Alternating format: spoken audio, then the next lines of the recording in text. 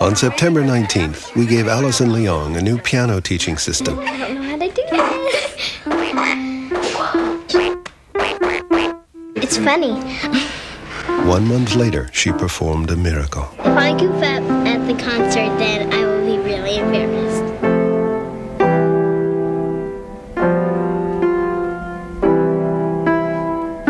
The Miracle, the revolutionary piano teaching system.